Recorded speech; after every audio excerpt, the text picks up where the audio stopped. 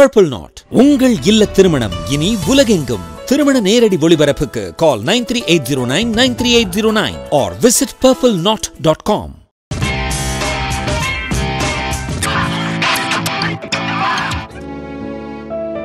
hello வணக்கம். Welcome to cinema central இந்த எபிசோடில் ரெண்டாயிரத்தி பத்தொன்பதில் அதிகப்படியான ரிஸ்க் எடுத்து அதில் வெற்றி அடைஞ்சது யார்? அதை பற்றி தான் நம்ம டீட்டெயிலாக பேச போகிறோம்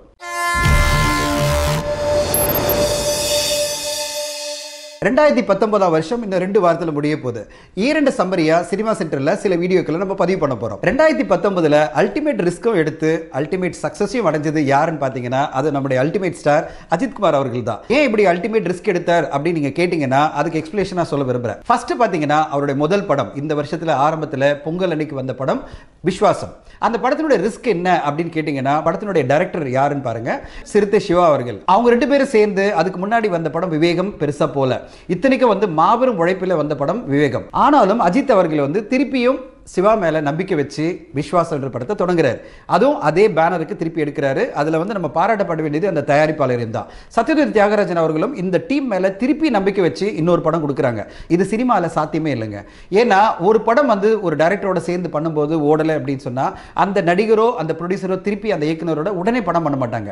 மேபி ஒன் ஆர் டூ படம் கழித்து அவர் வெற்றி கொடுத்தாரு தான் படம் பண்ணுவாங்க. ஆனால் நம்முடைய அல்டிமேட் ஸ்டார் பார்த்தீங்கன்னா அஜித் அவர்கள் அவர் பேரில் சிவா பேரை நம்பிக்கை வச்சு திருப்பி ஒரு படம் நம்ம எடுப்போம். அந்த படம் மூலமாக வெற்றி கொடுப்போம் அப்படின்னு சொல்லிட்டு அவர் வந்து ரிஸ்க் எடுத்து அந்த படத்தை எடுக்கிறாரு. அந்த விஸ்வாசம் என்ற படம் மிகப்பெரிய வெற்றி அடையுது. இந்த மாதிரி ஒரு ரிஸ்க் யாருமே எடுக்க மாட்டாங்க. அதுக்கு நம்ம கண்டிப்பாக அஜித்குமார் அவர்களுக்கு பாராட்டணும். அந்த டீம் இது ஒரு மிகப்பெரிய வெற்றியை இந்த பொங்கலுக்கு கொடுத்தது. அதோட சேர்த்து நீங்கள் பார்த்தீங்கன்னா இன்னொரு பெரிய விஷயம் என்னன்னு பாருங்கள் அந்த பொங்கலுக்கு மிகப்பெரிய படமாக ரஜினிகாந்த் அவர்கள் நடிப்பில் வந்து பேட்டை வருது. அதுவும் சன் பிக்சர்ஸ் தயாரிப்பில் பிரம்மாண்டமான மார்க்கெட்டிங்கோட வருது. அதுக்கு எதிராக இந்த படத்தை பொங்கல் அன்னைக்கு ரிலீஸ் பண்ணுறாங்க ரஜினி அவர்களுடைய படத்தை விட மிகப்பெரிய லெவலில் கலெக்ஷன் பண்ணது. இன்ஃபேக்ட் தமிழ்நாடு மொத்தம் பார்த்தீங்கன்னா ஆல்மோஸ்ட் நூற்றி நாற்பது கோடி லெவலில் கலெக்ட் பண்ணுது.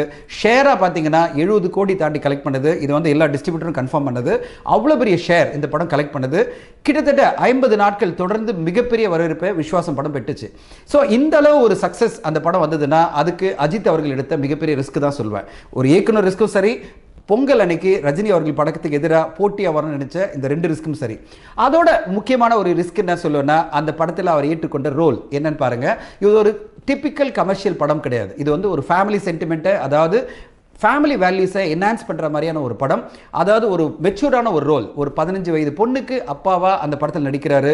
அந்த படம் ஒரு என்டர்டெய்னிங்காகவும் இருந்தது. அட் சேம் டைம் நம்மளை எல்லாம் நெகிழ வச்சுது ஸோ ஒரு பர்ஃபார்மராகவும் ஒரு என்டர்டெய்னராகவும் அந்த படத்தில் வந்து அஜித் அவர்கள் மிக பெருசாக ஸ்கோர் பண்ணி ஒரு மாபெரும் வெற்றியை அந்த படத்தில் இயர் பிகினிங்லேயே நம்ம தமிழ் சினிமாவுக்கு கொடுத்தார். ஸோ ஒரு பெரிய ரிஸ்க் எடுத்து ஒரு பெரிய சக்ஸஸையும் இயர் பிகினிங்லேயே நம்மளுக்கு கொடுத்தது அஜித் அவர்கள். விஸ்வாச படத்தினுடைய மாபெரும் வெற்றிக்கு பிறகு அவர் அடுத்து எடுக்கிற ரிஸ்க் பாருங்க. அவர் வந்து பிங்க் படத்தினுடைய ரீமேக் எடுக்கிறாரு. எல்லாருமே ஷாக் ஆகுறாங்க. ஏன்னா பிங்க் படத்தினுடைய கதாநாயகனா இந்தியில் நடித்தது யாருன்னு பார்த்தீங்கன்னா அது அமிதாப் பச்சன் அவர்கள். கிட்டத்தட்ட எழுபத்தைந்து வயதில் ஒரு ஹீரோ நடித்த ஒரு கேரக்டரில் அஜித் அவர்கள் வந்து ரொம்ப ரிஸ்க் எடுத்து இந்த கதை தமிழுக்கு சொல்லப்பட வேண்டும். ஏன்னா நம்ம பெண்களுடைய மேன்மையை பற்றி அதாவது பெண்கள் வந்து அந்த ஃப்ரீடம் அப்படின்னு சொல்லுவாங்க. பெண்களுடைய உணர்ச்சிக்கு மதிப்பு கொடுக்கணும். பெண்கள் வந்து நோன் சொன்னால் நோன் அப்படின்ற ஒரு மதிக்கணும். ஸோ பெண்களை வந்து மதிக்கிற மாதிரியான ஒரு படம். அதனால தான் வந்து அந்த படத்தினுடைய தயாரிப்பாளர் போனி கபூர் அவர்களுக்கு இப்போ சமீபத்தில் the best producer for socially responsible film அப்படின்னு பிகன் விட்ஸ் கொடுத்துருக்காங்க.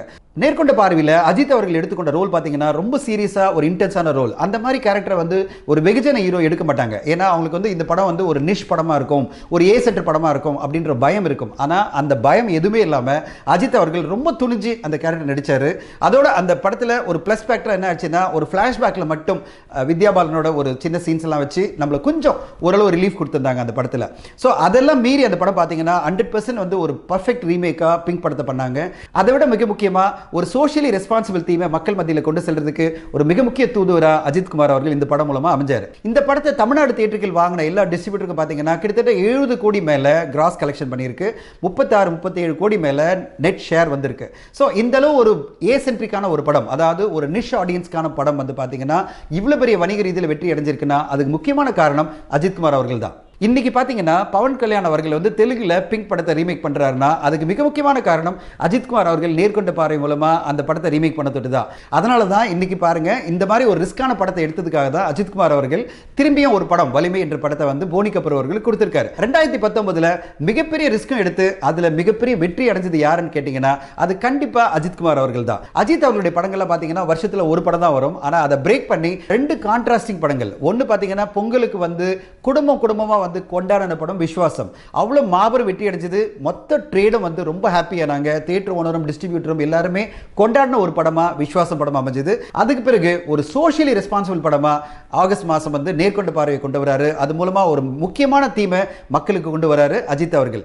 இப்படி ரெண்டு கான்ட்ராஸ்டிங்கான ரிஸ்கான படம் எடுத்து அந்த ரெண்டுத்திலையும் மாபெரும் வெற்றி அடைஞ்சு இன்னைக்கு ரெண்டாயிரத்தி பத்தொன்பதுல அல்டிமேட் ரிஸ்க்கு எடுத்து அதில் அல்டிமேட் சக்சஸ் அடைஞ்ச அஜித்குமார் அவர்களுக்கு நம்முடைய சல்யூட்டை கண்டிப்பாக தெரிவிக்கணும். ரெண்டாயிரத்தி பத்தொன்பதுல தமிழ் சினிமாவுடைய பாக்ஸ் ஆபீஸ் வந்து ரெண்டாயிரம் கோடியை தாண்டும் அப்படின்றது தமிழ் சினிமாவில் இருக்கிற ட்ரேட் அனலிஸ்டுடைய எக்ஸ்பெக்டேஷன் இதுல பாருங்க ரெண்டு படம் அஜித்குமார் அவர்கள் படம் வெளிவந்திருக்கு. அந்த ரெண்டு படனுடைய கிராஸ் கலெக்ஷன் என்ன எடுத்து பார்த்தீங்கன்னா கிட்டத்தட்ட 200 கோடி தாண்டி இந்த ரெண்டு படங்களும் கலெக்ட் பண்ணியிருக்கு. ஸோ அப்படின்னா டென் பர்சன்ட் கான்ட்ரிபியூஷன் அதாவது தமிழ் சினிமா டோட்டலாக ரெண்டாயிரம் கோடி கிராஸ் கலெக்ஷன் பண்ணியிருக்குன்னா அதில் பத்து பர்சன்ட் வசூலை வந்து அஜித்குமார் அவர்கள் தன்னுடைய ரெண்டு படம் மூலமாக தமிழ் சினிமாவுக்கு கொடுத்துருக்காரு. இந்த ரெண்டு படங்களுடைய வெற்றிகள் மூலமாக அஜித் அவர்களோட ரசிகர்களும் சரி ஆடியன்ஸும் சரி என்ன சொல்கிறாங்கன்னா அஜித் அவர்கள் வந்து மினிமமாக ரெண்டு படமாவது ஒரு ஒரு வருஷமும் கொடுக்கணும் எதிர்பார்க்குறாங்க. ஏன்னா அவருக்கு இருக்கிற மாபெரும் ஃபேன்ஸ் எல்லாருமே எதிர்பார்க்குறதுன்னா அவருடைய படங்கள் தொடர்ந்து வெளிவரணும்.